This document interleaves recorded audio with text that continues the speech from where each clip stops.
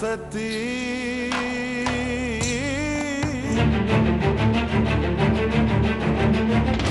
গুরুদেব। গুরুদেব দেখুন আমি কি পেয়েছি।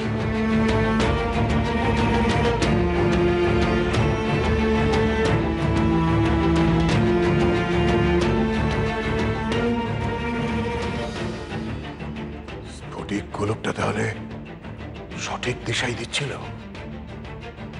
একটি পুরুষের সাথে একটি নারীও ছিল।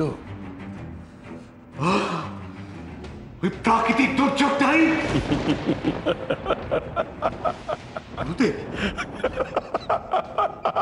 আমি আমার গুপ্ত অনুপ্রবেশকারীকে ধরতে পারছি না। আর আপনি হাসছেন।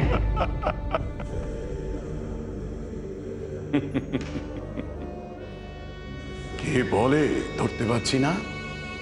অনুপ্রবেশকারী তো তোমার হাতের মুঠোয় খালি মুখোশটা টেনে খুলে দিতে বাকি। কি বলছেন গুরুদেব? ঠিকই বলছি। যেই মুহূর্তে স্ফটিক গোলকে ওই নরনারীর মুখটা আমরা দেখতে শুরু করলাম ঠিক সেই মুহূর্তেই প্রকৃতি খেপে উঠল। কেন? কেন প্রকৃতির এই চেহার? বলো। কারণ ওই মুখ দুটি দেখতে ফেলেই তুমি চিনে ফেলবে। তারা তোমার সুপরিচিত। তোমার আশেপাশেই ঘুরছে তারা। অথচ আমি ধরতে পারছি না। কিন্তু গুরুদেব, এই একটি দুল যখন আমি খুঁজে পেয়েছি, এই দুলের অধিকারিণীকেও আমি খুব সহজেই খুঁজে বার করে ফেলব। আপনি শুধু আমাকে একবার অনুমতি দিন। আমি মেয়ে মহলে গিয়ে জিজ্ঞেস করি এই আবার একটা ভুল করতে চলেছ আদিত্য। মনে রেখো অপরাধী তোমার পরিচিত। সে কিন্তু সব সময় তোমাকে চোখে চোখে রাখছে। অলঙ্কার নিয়ে খুঁজতে বেরুলেই সে কিন্তু সাবধান হয়ে যাবে। তুমি তাকে ধরতে পারবে না। তবে কি বাড়ির মহিলাদের মধ্যে কেউ? কি এত চিন্তা করছ আদিত্য? না গুরুদেব। উপায় ভাবছিলাম। আপনার মতামত আমার শিরোধার্য। বেশ। পরিবারের প্রাচীন স্যাঁকড়াকে ডেকে পাঠাও। সে দেখে যথার্থ নির্ণয় করবে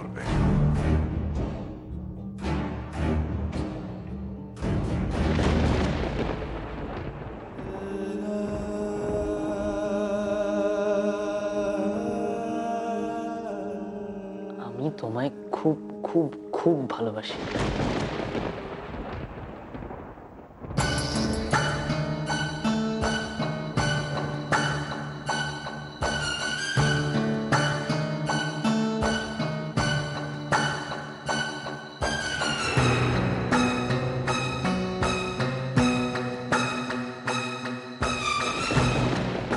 করে সম্ভব?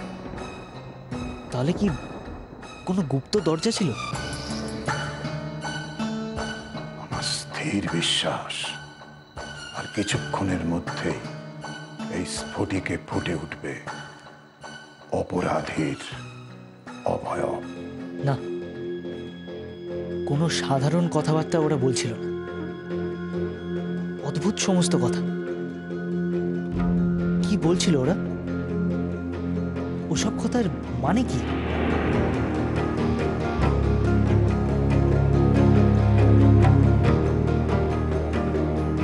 প্রকৃতির বিরুদ্ধে কি ভয়ঙ্কর খেলার নেশা পেয়ে বসেছে বড় কর্তাকে কি সর্বনাশ করতে যাচ্ছেন উনি?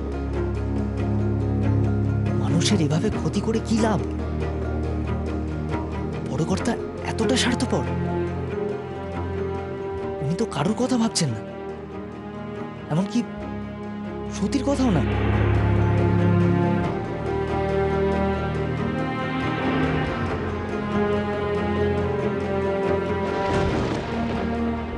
ওখানে থাকলে ওর অনেক ক্ষতি হয়ে যাবে। না এ আমি কিছুতেই হতে দেব না। যে করেই হোক সতীকে আমি আমার কাছে নিয়ে আসব। এ কি করল সতী? সব কথা এভাবে বলে ফেলল? কি অলক্ষণে কথা কইছিস? তুই জানিস নে ও ঘরে আদি আর গুরুদেব ছাড়া কারোর ঢোকার অনুমতি নেই? তোর কি মাথা খারাপ হয়ে গেছে বাবার কানে যদি একবার কথাটা যায় আমাদের কাউকে আর আস্ত রাখবে নেই দাঁড়াও বোম আমি তো কথা কইছি। তুই কেন এমন কাজ করলি? তুই জানিস নে ও ঘরে বাইরের হাওয়া বাতাস পর্যন্ত ঢোকে নে। আর তুই সারাটা দিন সেখানে কাটিয়ে অর্ধেক রাত্রে ঘরে ফিরে এলি? তোর প্রাণে কি ভয় ডর বলে কিছু নেই? কি করব বলো ঠাকুমা? খুব ইচ্ছে করছিল। সকালবেলা দেখলাম ও ঘরের দরজাটা খোলা। খুব কৌতূহল হলো। ঢুকে পড়লাম। তখন কি করে জানব? বাবা হঠাৎ করে তালা লাগিয়ে সদরে চলে যাবেন। এতক্ষণ এতক্ষণ ধরে ওই অন্ধকার ঘরের মধ্যে। ভগবান আমার তো ভাবলেই হাত পা ঠান্ডা হয়ে যাচ্ছে। একা একা তোর ভয় করল না? তুই ঘর থেকে বেরোলি কি করে? প্রথমে যখন বাবা তালা লাগিয়ে চলে গেলেন তখন বেশ ভয় করেছিল। তারপর তারপর আরাধনা কক্ষ ঘুরে দেখলাম। কত কিছু জিনিস ও ঘরে। তারপর তারপর কেমন যেন গা ছমছম করছিল। কিছুক্ষণ পরে বাবা আর গুরুদেব পূজায় বসলেন। সেই ভাগে চুপ করে চলে এলাম। মেয়ে মানুষের এত কৌতূহল ভালো নয়। আজ যদি তোর বাবার কানে কথাটা ঢোকে, আমাদের কপালে অশেষ দুঃখ আছে। আজ যদি কোনো অঘটন ঘটে যেত, মুখ দেখাবার জো থাকতো? কাজটা তুই মোটেই ভালো করিসনি। এখন বড় হচ্ছিস। এই বয়সে এত চঞ্চলতা মোটেই ভালো নয়। তোর কি ভীমরতি হয়েছিল সতী? শোন এরকম কাজ আর কখনো করবি না কখনো না। সতী তোর কানে দুল নেই কেন?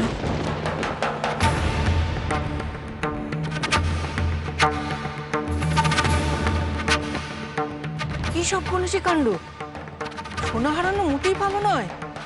কোথায় পেলি দুলটা? সত্যি? সত্যি? তুই দুলটা তোর বাবার পুজোর ঘরে ফেলে আসিস নি তো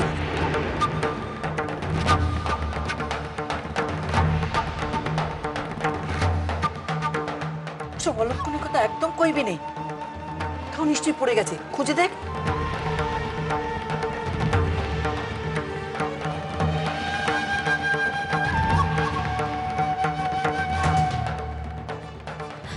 যেখানে বাঘের ভয়, সেখানেই সন্ধে হয়। আমার মনটা বড় কু ডাকছে আমার মন বলছে, ওই দুলো নিশ্চয়ই ওর বাবার পুজোর ঘরে ফেলে এসেছে। কি হবে? আমার যে হাত পা ঠান্ডা হয়ে যাচ্ছে, আমার মাথা আর কাজ করছে না। ও সত্যি, তোর বাবার হাতে যদি ওই দুল গিয়ে পড়ে, উনি আমাদের কাউকে আর রক্ষে রাখবেন যদি তাই হয় মা, বাবাকে সব সত্যি কথা আমি গিয়ে বলব। আমি তো কোনো অসৎ উদ্দেশ্য নিয়ে আরাধনা কক্ষে যাইনি। তুই এই কথা আর কাউকে বলবি না। আমার মাথায় হাত দে। আমার মাথায় হাত দিয়ে তুই দিব্যি কর। কাউকে বলবি না। এই কথা তুই আর কাউকে বলবি না। যদি তুই বলিস তাহলে তুই আমার মরা মুখ দেখবি। বেশ। তাই হবে। আমি কথা দিলাম মা। কিন্তু তিম্মা সতী না হয় কিছু বলল না। কিন্তু মামাবাবু যদি দুলের জোড়া দিয়ে দুলটা বের করে ফেলে ওটা কার? তখন কি হবে? তোর আরেক কানে দুলটা আমাকে দে তো। মা আরেকটা দুল নিয়ে আপনি কি করবেন? দে না। ফেলে দেব। খিড়কির পুকুরে ফেলে দেব। কার দুল কোথাকার দুল? কোনো চিহ্ন থাকবে না। অশনি সংকেত। অশনি সংকেত বিনু। বড় কর্তার কানে কথাগুলো গেলে কি প্রলয়ঙ্কর কাণ্ডটা যে ঘটবে শুধু শুধু নিরীহ মানুষগুলোর প্রাণ যাবে। কেউ বাদ যাবে না। কেউ না। রঘুনাথ পুরোহিতের বংশ একেবারে নির্বংশ হয়ে যাবে। তোমার কথা আমি কিছু মাথামুন্ডু বুঝতে পারছি না গো। রঘুনাথ পুরোহিতের উপরে হঠাৎ দাদার রোষ পড়বেই বা কেন? কি গো? চুপ করে রইলে কেন? বলো। চুপ করে আছি কি আর সাধে? বিনু আমি বড় অসহায় গো।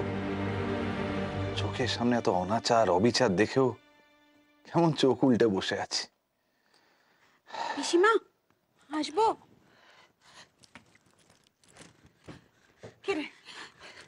সতীর কোনো খোঁজ পেলি? হ্যাঁ পিসিমা হ্যাঁ সে কথাই তো আপনাদের বলতে এসেছি। সতী ফিরেছে? হ্যাঁ পিসে বাবু সতী দিদি ফিরে এসেছে। গো শুনছো? সতী ফিরেছে গো। চল চল তাড়াতাড়ি চল। কাল যা একখানা দিন গেছে না? আপনাকে সমু সকাল থেকে উঠে দেখি সে বেপাত্তা। এ ঘর ও ঘর এ পাড়া সে পাড়া মাঠ ঘাট সর্বত্র তাকে খুঁজে বেরিয়েছি একেবারে গরু খোঁজা খুঁজেছি। তারপর? তারপর আবার কি? যেন কর্পূরের মতো একেবারে উবে গেছে। ওর মা তো সেই উচ্ছা যায় যায় অবস্থাটা আপনি তো জানেন একে অনাথকে নিয়ে আমাদের দুশ্চিন্তা শেষ নেই। তারপর আবার এই সমুটাও। সমু ফেরেনি কালকে? না ফিরলে আজ সকালে কি আর আমি পুজোয় আসতে পারতাম? তা নয় সে ফিরেছে। কিন্তু কখন ফিরেছে জানেন? কখন? রাত দুপুরের পর। রাত দুই প্রহরের পর? কোথায় গিয়েছিল কিছু বলল? না অত সহজে সে বলার পাত্র নাকি? তার মা, আপনি তো জানেন, সে কখনো গলা উঁচু করে কথা বলে না, সে পর্যন্ত কাল চর থাপ্পড় কষিয়েছে হ্যাঁ তারপরে অতি কষ্টে তার মুখ দিয়ে বার করা গেছে। সে নাকি জেলেদের সঙ্গে মাছ ধরা দেখতে গিয়েছিল তাদের ডিঙিতে চড়ে। আর তারপর জোয়ারের টানে সে ডিঙি বহুদূর ভেসে গেছে, তাই তার ফিরতে দেরি হয়েছে। আপনি ভাবুন কি ব্যাকেলে ব্যাপার বলুন তো? সতীও তো ঠিক সেই সময়। তাহলে কি?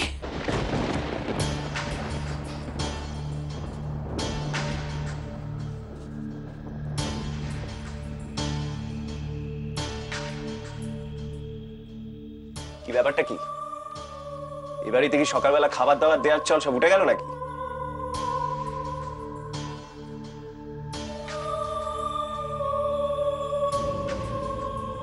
কি ব্যাপার বলো সমাধিস্থ অবস্থায় বসে রয়েছে হয়েছেটা কি?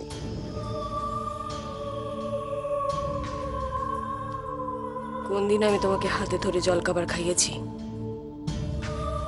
যে আজ বড় আহ্লাদ হচ্ছে আমার হাতের খাবারের। পুরনো কথা ভুলে গিয়ে সামনের দিকে তাকাও মন। পরিকল্পনা করো আগামী চালের।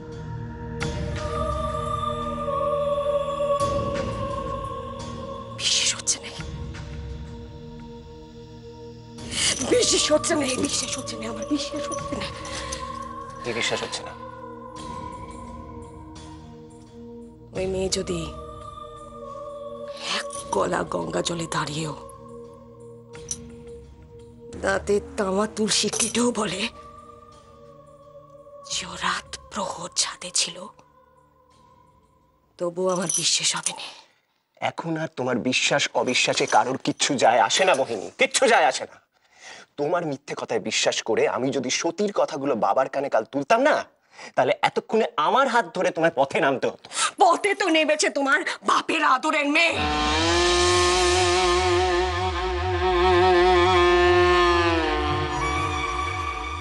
কিন্তু কার হাত ধরে?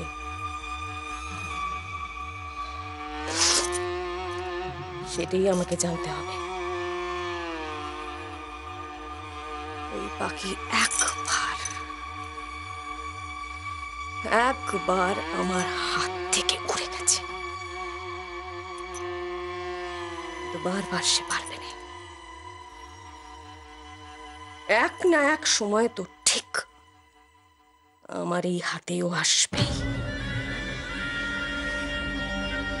আর যেই মুহূর্ত আমার হাতেও আসবে। ও ডানা ছেঁটে পাশে কল পরিয়ে আমি যদি খাঁচায় বন্দি করে না রাখি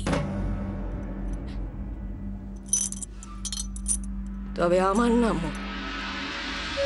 মোহিনী নয়। বাবা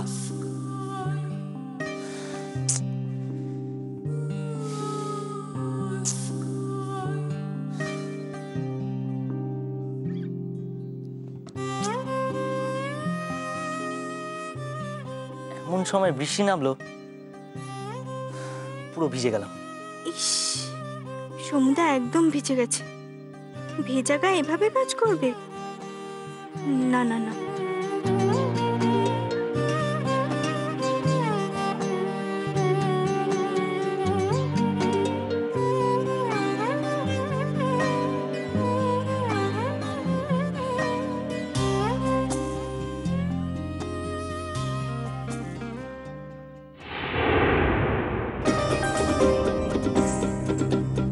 এ কি তুমি?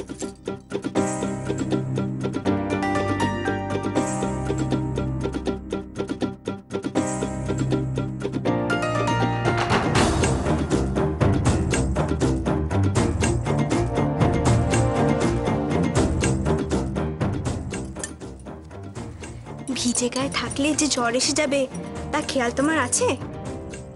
তোমার কি ভয় ডর একটুও নেই সত্যি কেউ দেখে ফেললে কি হবে সেটা একবারও ভেবে দেখেছ? কাল রাতের পর থেকে আমার সব ভয় কেটে গেছে। আর তাছাড়া তুমি এমন ভিজে গায়ে বসে বসে কাজ করবে আর আমি জেনেও চুপ করে বসে থাকব? তা হয় না সমুদা। কাল বাড়ি ফিরে কি বললে সবাইকে? যা সত্যি তাই বলেছি। মানে? বলেছি বাবা পুজোর ঘরে গিয়ে আটকা পড়েছিলাম। তুমি একথা বললে? ভয় পেও না সমুদা। তুমি আমার সঙ্গে ছিলে এ কথাটা আমি বলিনি। ও তাই বলো। আমি ভাবলাম তুমি এত সাহসী কবে থেকে হয়ে গেলে ও নিজে বুঝি খুব সাহসী। কাল তো মুখ একবার শুকিয়ে গেছিল। তবে জানো সমুদা আমার একটা ব্যাপার নিয়ে না খুব দুশ্চিন্তা হচ্ছে। কি হয়েছে সত্যি আমার কানের একটা দুল কোথাও খুলে পড়ে গেছে। আমার মনে হয় ওই পুজোর ঘরেই পড়েছে। বৃষ্টির ছাটে বারান্দাটা পুরো ভেসে যাচ্ছে। সেদিকে কারও খেয়াল নেই। আরে জানলাগুলো বন্ধ করে দে। এগিয়ে রে নামিয়ে জানলা বন্ধ করে দে। হাঁটা পর্যন্ত ভালোভাবে যাচ্ছে না। সব হয়েছে কাজের এক। আরে সমু কখন এলে? হ্যাঁ? বাবা তুমি তো একদম বৃষ্টিতে ভিজে গেছো।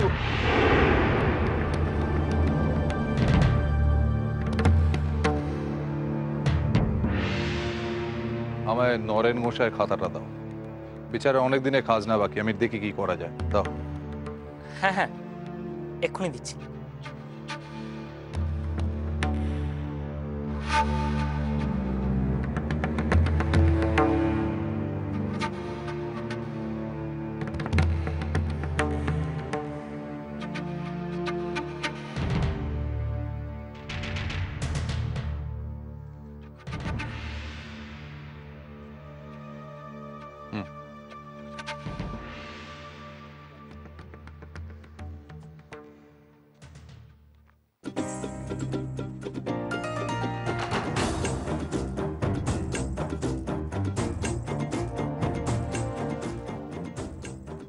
ঈশ্বর তুমি ওদের রক্ষা করো।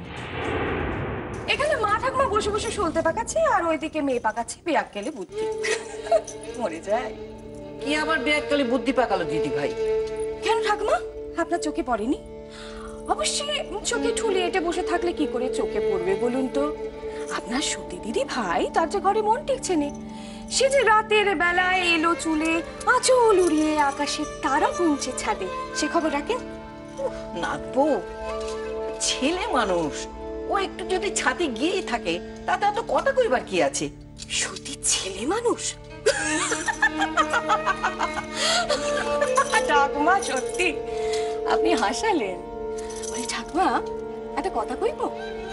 মানে সতীর ঘাড়ে যে ভূতটা চেপেছে সেটা তাড়ানোর জন্য একটা ওজা ঢাকলে ভালো হয় না? কি বলেন? কি সমস্ত অলক্ষণে কথা হচ্ছে? যা মুখে আসে তাই কয়ে দিস। আমার শুধু মুখে যে আসে তা কই নে। আমার মন যা চায় তাই আমি করে ফেলি। এই যেমন এখন আমার মন চাইছে শ্বশুর ঠাকুরকে গিয়ে সব কথা আমি স্পষ্ট করে বলে ফেলি। তাহলে যাই কই আসি গে? দোহাই বৌমা। আমার শ্বশুর ঠাকুরকে তো চেনো তাকে কিছু বলতে চাই না। ও কর্তা মা। বড় কর্তা সবাইকে বৈঠকখানে ডাকছেন। কেন ডেকে পাঠিয়েছেন কিছু জানিস পদ্ম? সেসব জানি নে মা। তবে বড় কর্তাকে দেখে মনে হলো এক্ষুনি যেন রাগে ফেটে পড়বেন। ঠিক আছে তুই যা। সুধা সতীকে খবর পাঠা।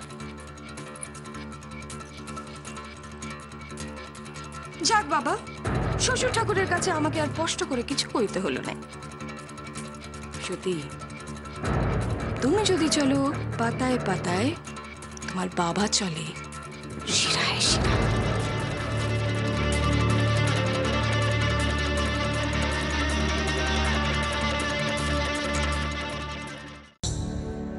सती